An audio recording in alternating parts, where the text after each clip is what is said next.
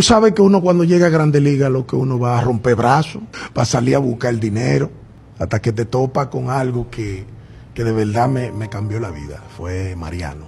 Mariano Rivera. Mariano Rivera. ¿Qué hizo Mariano Rivera para cambiarte la vida? Mariano, lo que me está hablando ahí de la palabra de Dios, yo con un dolor de cabeza que lo que quiero es buscar dinero. ¿Y qué hacía Mariano?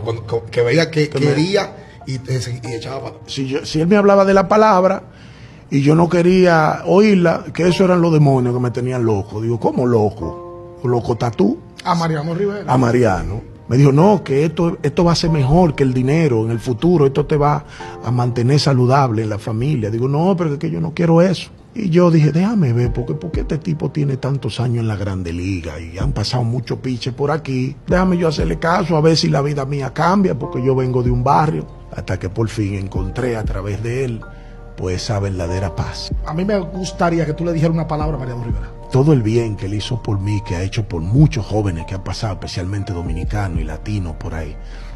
Que el Señor lo siga cubriendo de salud y vida. El mejor cambio que yo he podido dar en mi vida entera, de todo lo que yo he hecho en mi vida, es entregarle mi corazón al Señor. Le doy gracias a Mariano, a su esposa, a su familia que están pastoreando allá en Nueva York. Y de- verdaderamente agradezco la vida de Mariano.